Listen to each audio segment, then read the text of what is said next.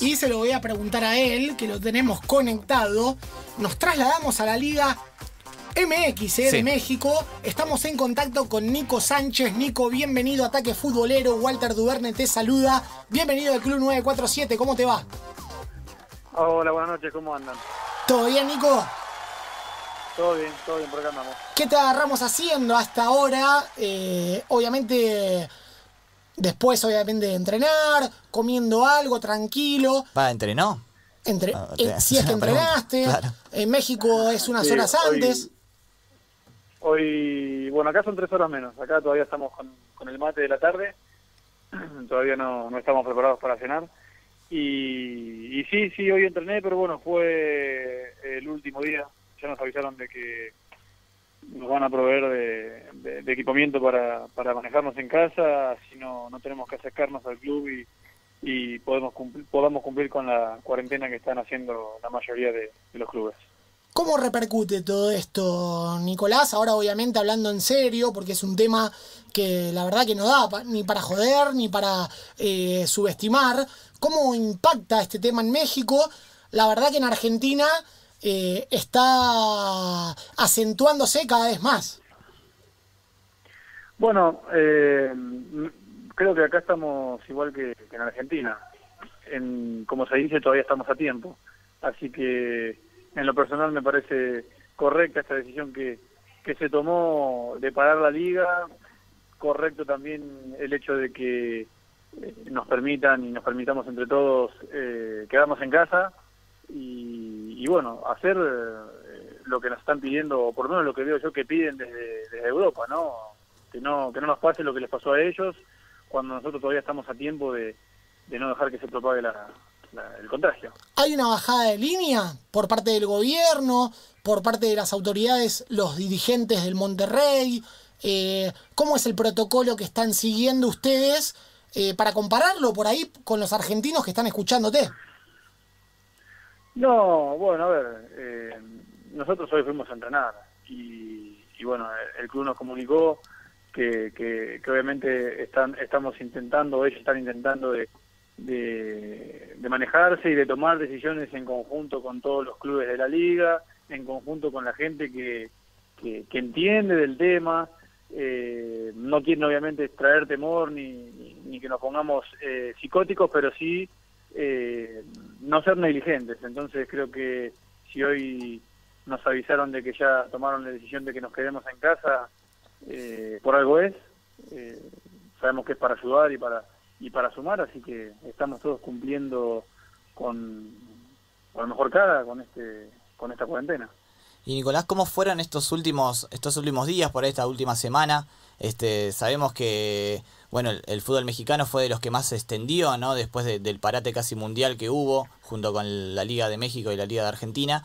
Eh, ¿Cómo fue? O sea, el, último partido que jugaron, seguramente a puertas cerradas y demás, ¿cómo fueron estos últimos días eh, hasta el día de hoy? Que bueno, como nos contabas, decidieron eh, parar, ¿no? En su totalidad. Sí, fue, fue raro, fue feo. Jugar sin, jugar sin gente es feo, es un entrenamiento, es un partido de, de pretemporada.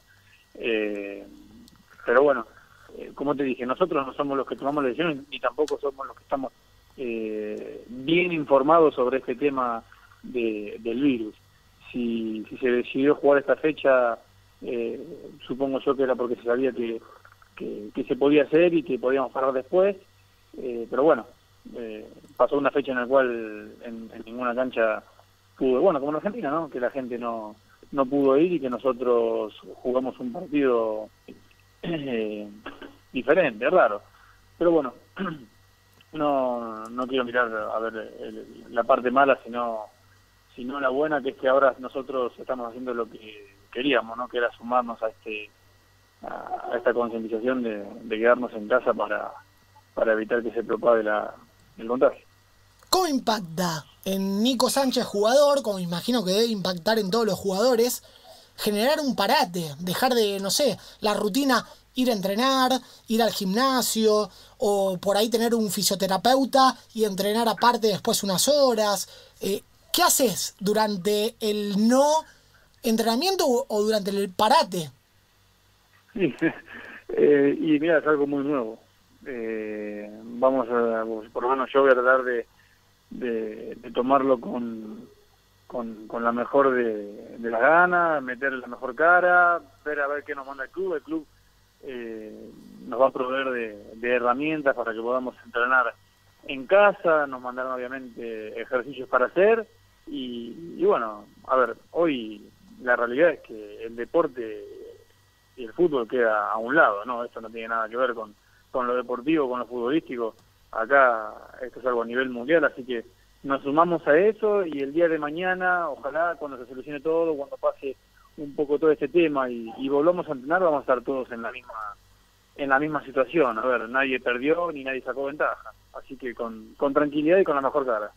Y compartís esto que, que seguramente dijeron por ahí ex compañeros tuyos, colegas eh, y demás futbolistas, eh, en que en algún punto se sintieron usados, ¿no? La, la, los jugadores que siguieron eh, disputando sus partidos y demás, se sintieron usados como en una suerte de entretenimiento, ¿no? De como mucha gente estaba en su casa y demás, el fútbol no debía parar y, porque en muchos lados el fútbol lamentablemente es un negocio y, y, bueno y se rige este por la economía, ¿no? ¿Vos también lo sentiste así?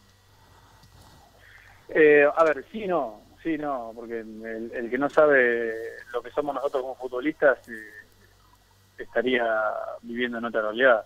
Eh, queda mal decirlo, pero el fútbol, al fin y al cabo, para nosotros es una pasión enorme, pero también es un negocio.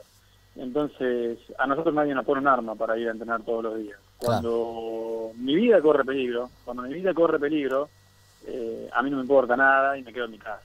Ahora, lo que yo, esto es un pensamiento personal, obviamente, ¿no? Hay gente que está, o por lo menos en la que yo confío, que está preparada para, para, para entender el tema, para hablar del tema, para transmitirnos a nosotros seguridad o, los recaudos que tenemos que tomar y, esa gente nos dijo que este fin de semana se podía jugar. Entonces, eh, yo personalmente, eh, obviamente que estoy totalmente de acuerdo con ese parate, pero bueno, el fin de semana jugué con tranquilidad porque la tranquilidad me le da la gente que sabe. Yo no te sé hablar sobre estas infecciones o este virus, eh, te puedo hablar por los miles de millones de videos que vemos todos los días en las redes sociales, nada más. Así que no, no me enojé con nadie, sabíamos que esto tarde o temprano iba a pasar, por suerte fue más temprano que, tarde, el tema del, del, parate. Y, bueno, ahora estamos, hay que sumar, ahora hay que sumar con la mejor cara, darle para adelante, aguantar la liga. La que venga en casa. ¿Y cómo es tu, claro, y sí, este, justamente iba a eso, ¿no? ¿Cómo es tu situación en, en casa, ¿no? Vos eh, estás con tu familia, ¿no? Eh, tenés hijos, ¿cómo, qué, qué medidas vas a tomar, ¿no? ¿Cómo, cómo es que lo, que lo pensás llevar, ¿no? Bueno, eh, estoy como, como la mayoría, ¿no? Estoy en casa con mi mujer, con, con mis hijos. Hoy no solamente vamos a hacer de, vamos a cumplir la función de, de papá y mamá, sino que también de, de, de profe, de profesor y profesora. Eh, acá los colegios, al igual que a nosotros nos mandan la rutina para entrenar, los colegios eh, estamos esperando que nos manden la rutina de los nenes. Yo tengo nenes chiquitos de 6 y, y 4 años. Pero pero bueno nos van a, nos van a enviar cosas para que tareas para que hagamos con ellos en casa. Y, bueno después está la inventiva nuestra no en cómo entretenernos en familia que no nos va a venir para nada mal Nico te hago una consulta. Cómo está la ciudad ahora vos salís la gente está medio parado todo cómo está la, la ciudad de México allá Mira, hoy salí a la mañana, fui y vine, porque fui al club y volví. El club nos preparó todo para para llegar, cambiarnos cada uno, nosotros concentramos donde entrenamos donde concentramos. Entonces, cada uno tenía su, su habitación, casi que teníamos un cubículo individual y entrenamos, no te digo separados, pero sin contacto. Entonces, eh, por lo poco que pude ver en la calle, la realidad es que me pareció bastante normal acá en Monterrey. Yo no sé si la gente no todavía no tomó conciencia o, o, o me pareció a mí haber pensé que iba a encontrar menos gente. Pero eso fue solamente a la mañana cuando fui y volví al club. Después no, no volví a salir y bueno, y ahora tampoco tengo que volver a salir porque ya no tengo que entrenar. Hay que guardarse ahora. Sí, sí, sí, acá no, no se paró, no se paró todo. Todavía hay gente que viene a trabajar, pero por lo que escucho eh, de, amigos y, y gente que tenemos acá conocida que no tiene nada que ver con el fútbol, la, la gente que puede quedarse en casa se está quedando en casa. Estamos hablando con Nico Sánchez, eh, jugador del Monterrey de la Liga MX, vía México, eh, hablando. Gracias, Nico, por atendernos. Más allá de que la hora lo favorece, ¿no? Son tres horas menos en México. Yo lo que te quiero preguntar, Nico, es si. eh, a ver, ¿cómo, cómo plantearlo? Si el, el panorama de, de la liga, de dirigentes, de clubes, extraña jugar la Copa Libertadores. Mira, acá no se habla de eso. Creo que la extrañamos más nosotros la que, lo- los que la conocemos, los que conocemos la compete esa competencia.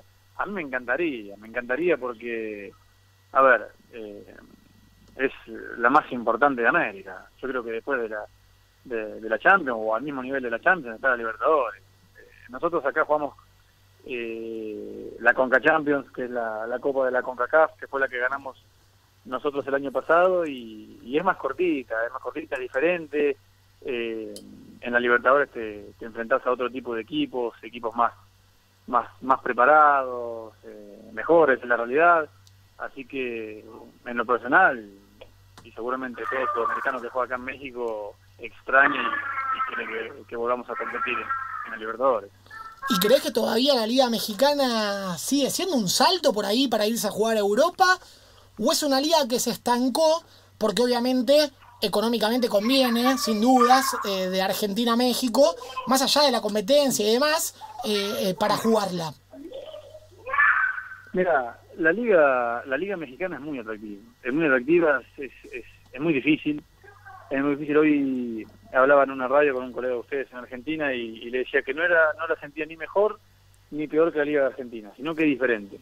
Eh, acá he visto jugadores eh, consagrados o que le ha ido bien en, allá en Argentina y, que acá no, no han podido pisar bien y de lo contrario, ¿no? Jugadores que por ahí no han dejado mucho en Argentina y que, y que triunfaron acá. Eh, es diferente, es diferente acá el futbolista eh, mexicano, no sé si tiene ese sueño como tenemos nosotros de, de jugar en Europa, porque la realidad es que acá económicamente eh, se vive bien y, los clubes pagan bien, no tienen el problema que tenemos nosotros.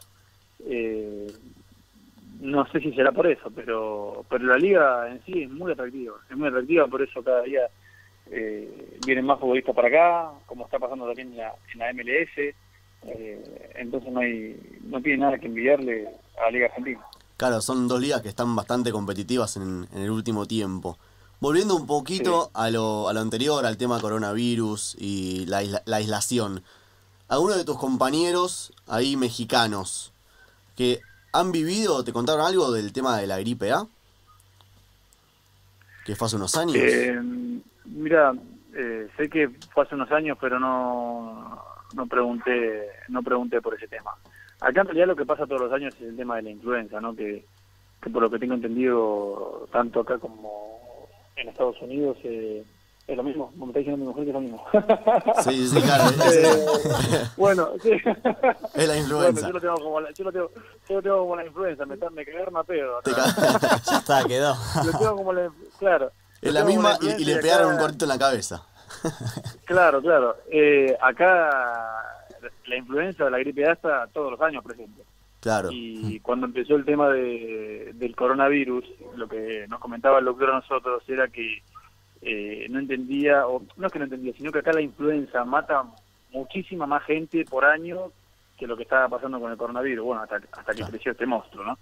Claro. Pero la- por lo menos, bueno, acá la- con la influenza ya tenemos vacuna, todos los años nos vacunamos, nosotros los nenes, eh, se tiene más controlada, pero bueno, la realidad es que por lo que sigo escuchando se sigue muriendo gente acá todos los años por, por el tema de la.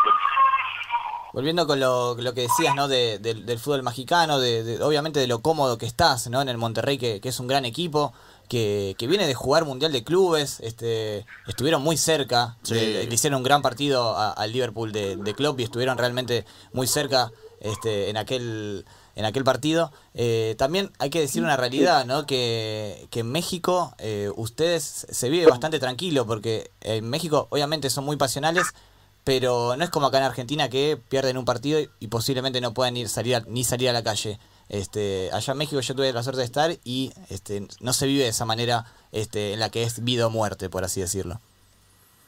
Claro, pero la diferencia, por ahí te la puedo a- hablar de otra manera. Sí, obvio. No es que cuando perdés no podés salir a la calle. Acá cuando perdés, la gente te demuestra su enojo y, y- y te puedo asegurar que no se callan.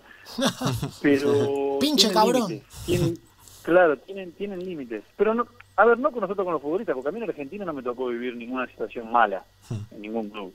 Eh, y no recuerdo algún compañero haber pasado jugador, es futbolista.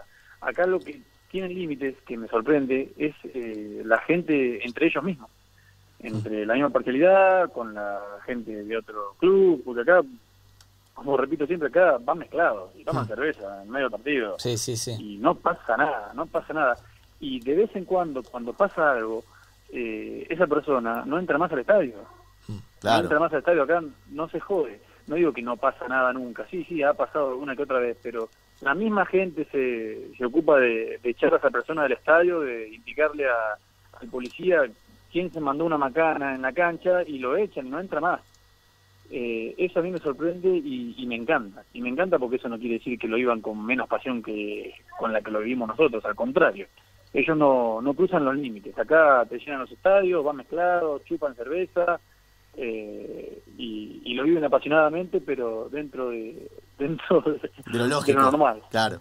de lo lógico, claro. Y Nico, ¿y en las redes sociales cómo se vive? Acá es una vorágine, ¿es lo mismo allá? Me imagino el Distrito Federal, una locura de millones de personas. ¿Se vive con la misma locura en las redes sociales que acá o nada que ver?